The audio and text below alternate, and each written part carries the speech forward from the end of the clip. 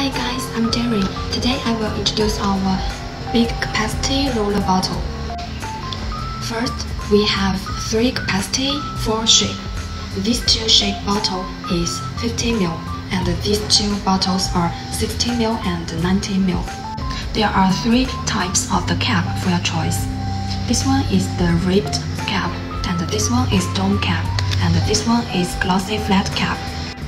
Total have three parts, cap, rollerball and bottle. We can do injection color as per the Pantone number. Also can do hot stamping ring around the cap. Our company SRS Packaging is specialized in manufacturing roller bottle, so about roller bottles, we can guarantee 100% no leakage. You can fill in the water, serum, gel, and other formula.